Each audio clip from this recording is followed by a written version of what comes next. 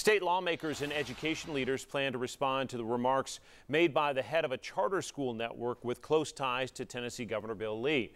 The governor asked Hillsdale College President Larry Arnn to build at least 50 charter schools in the state of Tennessee. The school describes itself as a non-sectarian Christian institution.